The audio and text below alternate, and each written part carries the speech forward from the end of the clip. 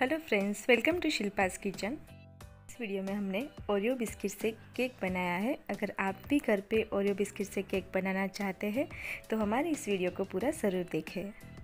इसके लिए जो इंग्रेडिएंट्स चाहिए, वो हमने डिस्क्रिप्शन में लिखे हैं। तो आइए स्टार्ट करते हैं। सबसे पहले आपको एक कढ़ाई ले लेनी है, उसके अंदर नमक डाल देना है और फिर इसके अंदर एक चार या फिर स्टैंड रख देना है।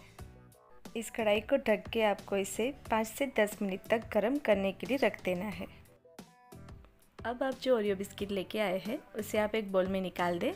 हमने यहाँ एक बड़ा और एक छोटा पैकेट ओरियो बिस्किट लिया है। अगर आपको ज़्यादा क्वांटिटी चाहिए तो आप ज़्यादा क्वांटिटी के लिए ज़्यादा ओरियो बिस्किट की इसके अंदर डाल सकते हैं। अब इसके अंदर जो क्रीम है, उसे हम अलग कर देंगे। इस तरह से आपको पूरी क्रीम निकाल देनी है।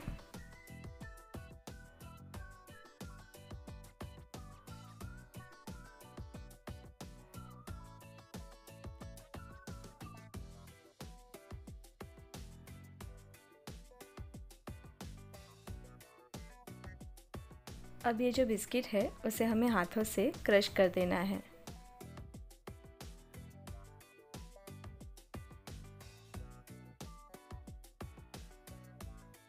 अब हम इसके अंदर मिल्क डालेंगे। यहाँ पे हमने आधे से थोड़ा ज़्यादा कप मिल्क लिया है। अगर आपने ज़्यादा क्वांटिटी ली है तो आप उस हिसाब से ज़्यादा मिल्क डाल सकते हैं। इसे हमें अच्छे से मिक्स कर देना है और इसे लिक्विड फॉर्म में बना देना है।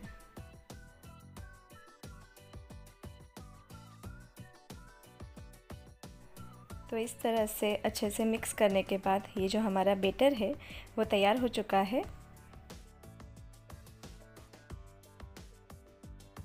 अब आप केक का एक टीन ले लीजिए और उसके अंदर आपको तेल या फिर बटर से ग्रीस कर देना है। उसके बाद उसके अंदर हम बटर पेपर रखेंगे।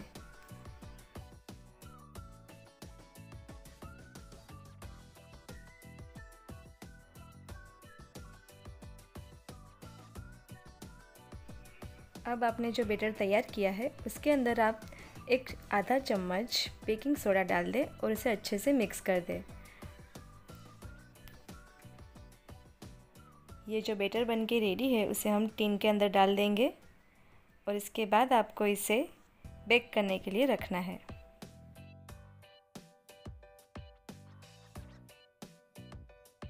तो इस तरह से आपको ये जो आपने बेटर बनाया है, उसे 40 से 45 मिनट तक बेक करने के लिए रखना है।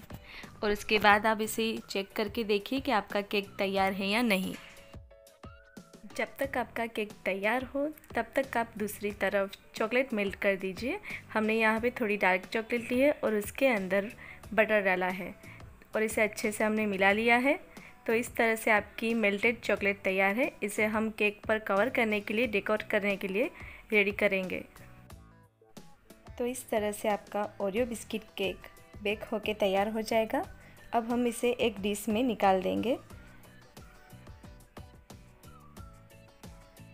और इसकी एक स्लाइस कर देंगे, यानी कि बीच में से काट के कंप्लीट एक स्लाइस बनाएँगे।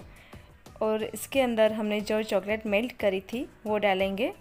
और यहाँ पे हमने ये जो क्रीम है, उसके अंदर मिल्क डाल के उसे मिक्स कर दिया है। और इसे भी हम इस केक के अंदर अप्लाई करेंगे।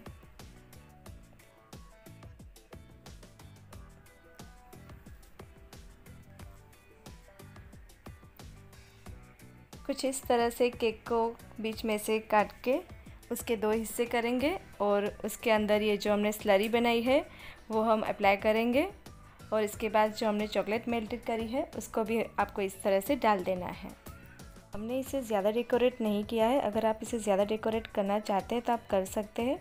आपको हमारा ये वीडियो कैसा लगा, ये आप हमें कमेंट में ज़रूर बताएँ। एंड अगर आप चैनल में नए हैं तो आप हमारे चैनल को ज़रूर सब्सक्राइब करें। Thanks for watching